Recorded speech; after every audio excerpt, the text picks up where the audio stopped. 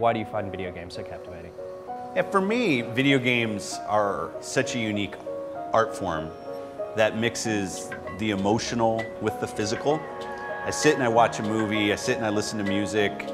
In video games, I interact with a story, with characters, with sound that a very creative team have, has built, and my physical input into that experience just makes it so much more visceral and kind of lands at a, a very core level for me.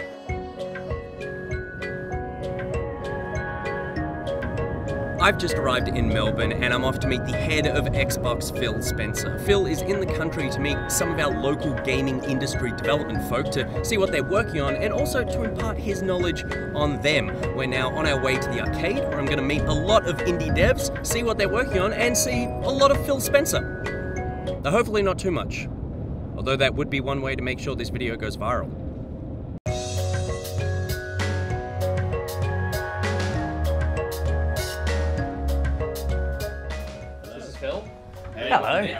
You, Nick? Phil. Nice to meet you. These are cameras. Yes, they are. Yeah. They have names though. Yeah, no, we don't we don't refer to them by their names.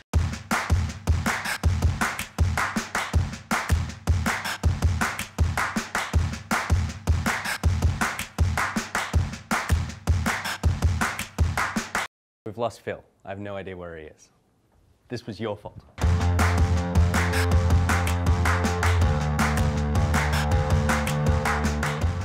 Phil, what was your impression of the arcade? Spending the time to put the space together and uh, kind of the facilitation of that, I think is just a great service to the game industry, uh, which is fantastic. And then just seeing the energy of the studios together.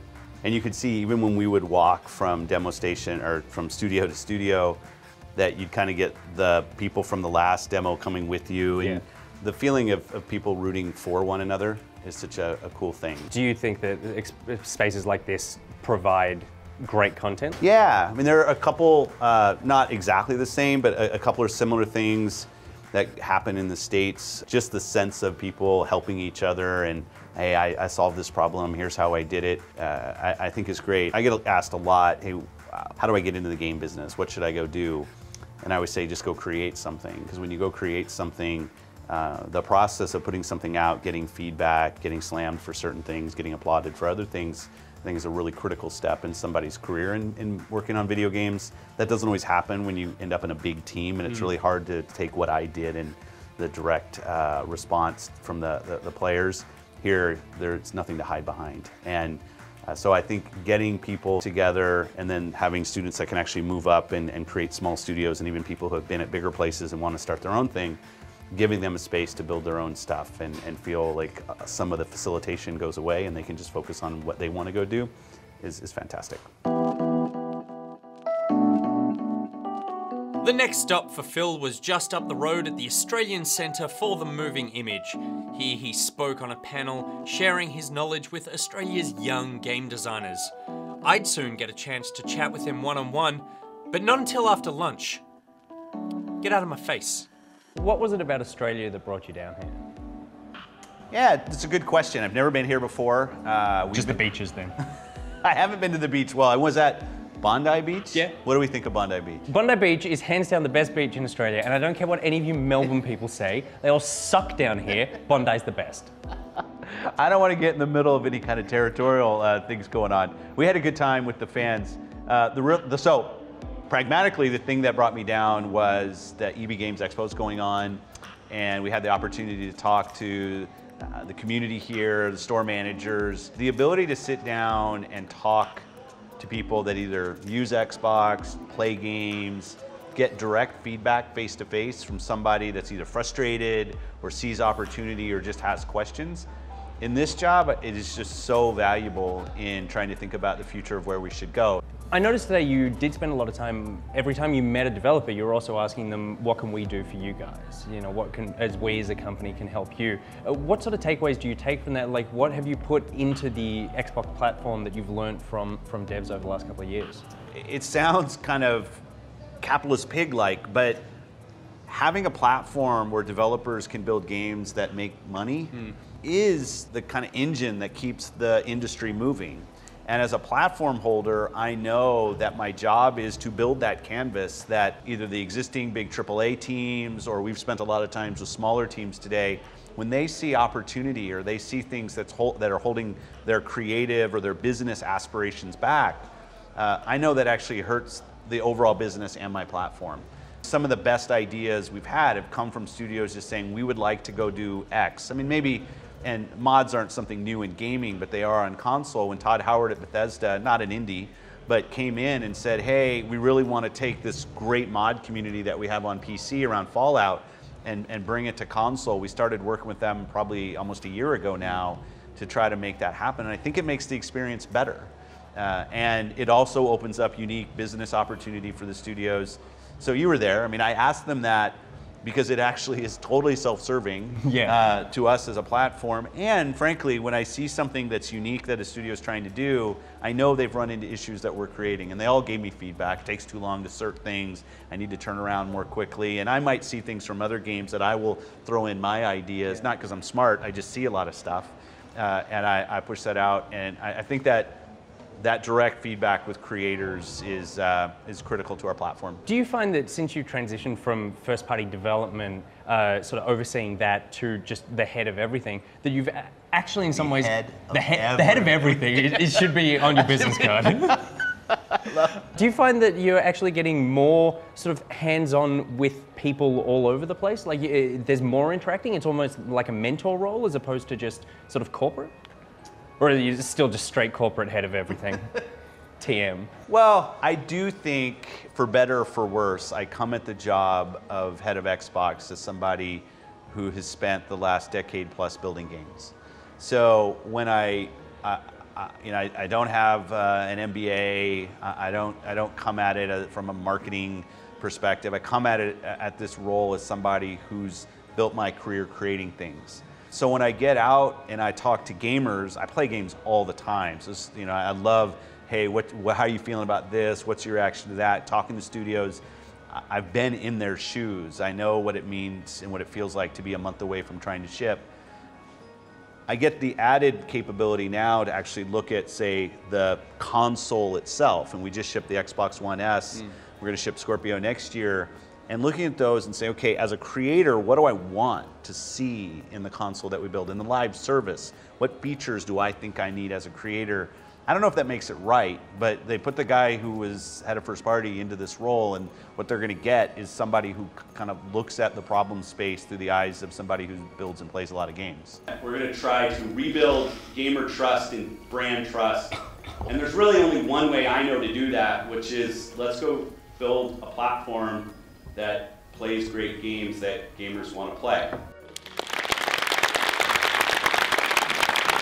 In this, uh, I think in the last generation with the 360, it was kind of it was kind of accepted that Xbox was on top in that generation. There was just in the mind share of, of gamers, it was kind of that was where the great games were. And then when uh, the one came out, it was a bit of a rocky launch, like you acknowledged today. Uh, how did you get the team motivated to to move past that and actually focus back down onto what makes the console important?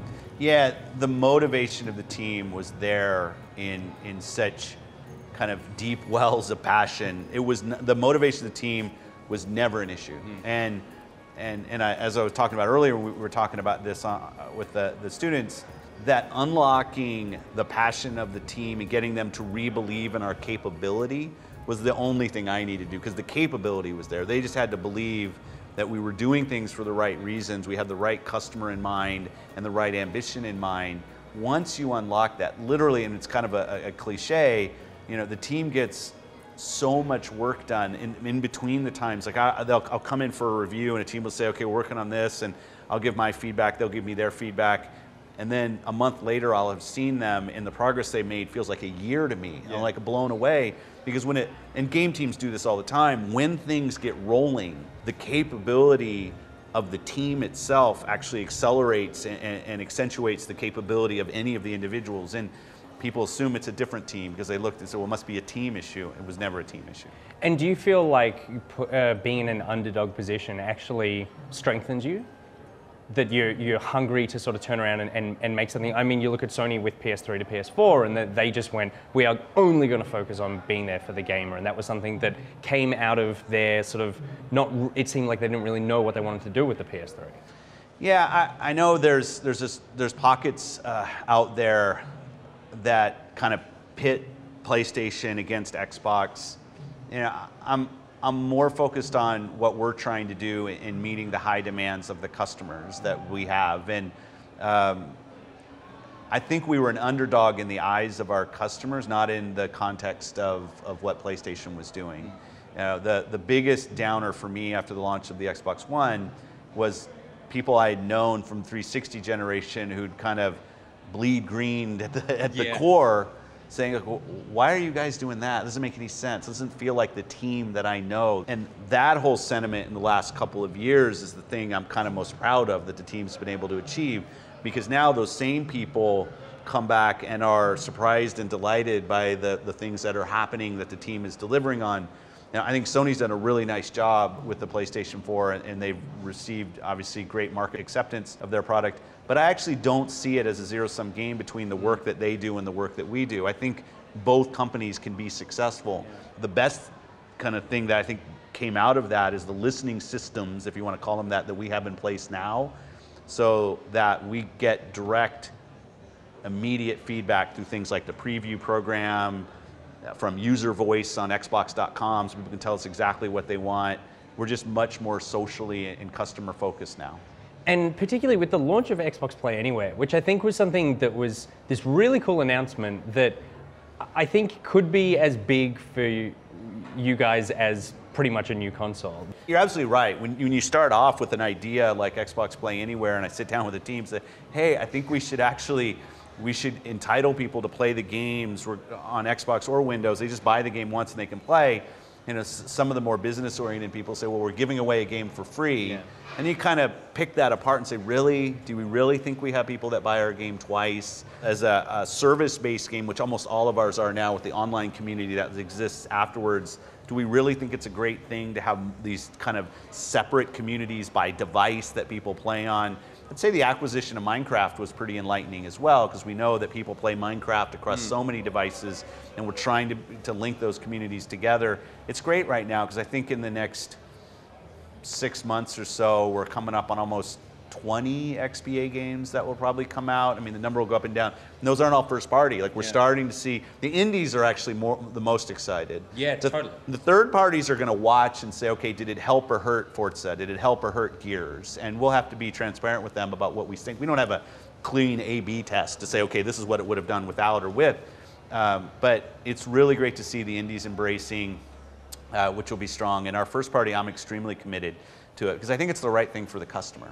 You also spoke about the idea of uh, upgradable consoles or yeah. iterative, and you've sort of said that that is something that potentially could be where we're headed. With the announcement uh, of the PS4 Pro and this sort of uh, there's a there's a feeling of customer confusion around why you might want that. Do you see Xbox as possibly going not console and just becoming sort of platform agnostic?